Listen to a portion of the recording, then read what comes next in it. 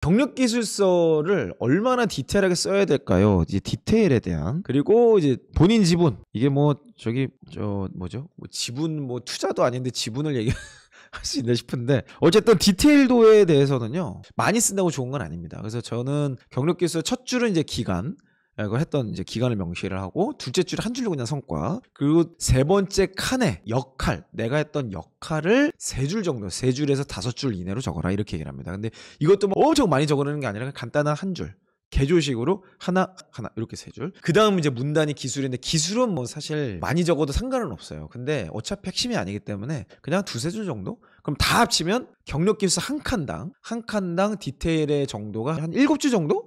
기간, 성과, 그리고 역할 세 줄, 그리고 뭐 다섯 줄이죠. 그리고 기술 한두 줄. 그 정도면은 제가 보기에는 딱 알찬. 그 일곱 줄짜리가 내 경력에 따라서 내가 경력이 2년이면 한 칸만 있어도 되고, 경력이 4년이면 최소 두 칸 있어야 돼요. 제가 지금 절반이라고 말한 거는 최소를 얘기하는 겁니다. 제일 좋은 거는 1년에 한 칸씩 나오는 거예요. 저희 GDR 네트워크에서는 6개월에 한 번씩 만드는 걸 지금 목표로. 1년에 두 칸씩 만드는 걸라고 제가 지금 엄청 막 뭐라 그러고. 본인 지분에 대한 질문 하셨는데, 사실, 숟가락만 얹으면 돼요. 어, 내가 무슨 뭐, 뭐 대단한 일 내가 다 주도하지 않았더라도 결국엔 경력 기술서는 역할에서 내가 했던 일들을 이제 기술하는 거거든요. 뭐 지분을 우리가 어떻게 알겠어요? 뭐 이게 뭐 뭐 때문에 잘 된 건지 디자인 때문에 잘 된 건지 기획이 잘 때문에 잘 된 건지 뭐 영업을 잘한 건지 뭐 개발을 잘한 건지 알 게 뭐야. 이거를 평가하는 사람 입장에서는 이걸 디테일을 어차피 알 수가 없어요. 그러니까 내가 기여했던 거 중심으로만 작성을 하고 그거를 경력 기술에서는 제가 역할이라는 문단으로 아예 paragraph를 만들어 드린 겁니다. template을 드린 거죠. 거기에다가 그냥 내가 한 일만 적으시면 돼요. 그리고 성과는 팀 성과로. 지분이라는 개념으로 표현하기보다는 우리 팀이 낸 성과는 이런 건데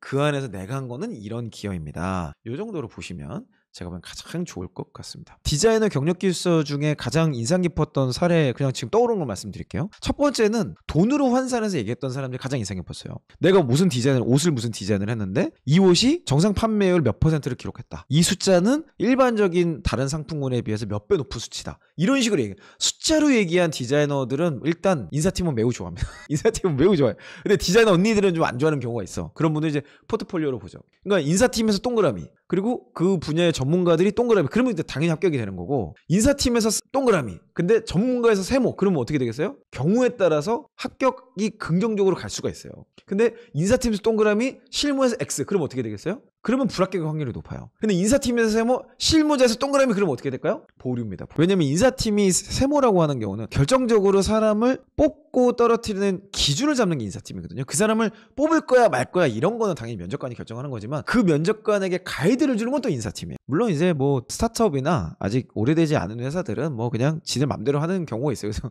인사팀들이 그것 때문에 막 미치고 팔짝 뛰죠. 그런 경우가 있는 건 사실이야. 어, 그렇지만 어찌됐건 아직도 여전히 인사팀이 가이드를 주는 경우들이 있어요. 저, 저 같은 경우 그랬거든요. 디자이너 언니분들이 와가지고 저한테 어, 이 사람 무조건 뽑아야 된대. 그러면 저는 바로 딱 안경 고쳐서 그때는 막 안경도 막 이런 안경 쓰고 진짜 서슬퍼러 여기 막 은색 막 있어요. 왜 뽑아야 됩니까? 저한테 설명 좀 해보세요. 그러면은 뭐 포트폴리오가 얘기해. 아니 포트폴리오는 알겠고 그거는 우리 회사에서 그게 어? 제품으로 된다는 거 어떻게 알아요? 그거 말고 숫자로 좀 얘기해보세요. 막 이런, 그것 때문에 한테 디자이너 언니들이 저 때문에 많이 울긴 했는데, 알 수 없는 것들을, 그 추상적인 것들을, 그걸 암묵지라 그럽니다. 암묵지를 형식화시키는 게 인사팀이 하는 일이거든요. 일단은 아까 처음 말씀드렸던 대로 돈으로 환산해서 뭔가 숫자로 설명하려고 노력하는, 적어도 노력하는 디자이너들은 굉장히 긍정적으로 봤습니다. 아 이건 뭐 지금도 그래요. 지금도 디자이너지만 고객 이야기하고 숫자를 얘기하고 자기 나름 분석했던 이야기하고 그러면 굉장히 이 사람 같이 일하고 싶은데? 막 이런 생각이 이제 드는 거죠. 디자인 실력 좀 없어도 될 것 같아? 막 이런 느낌이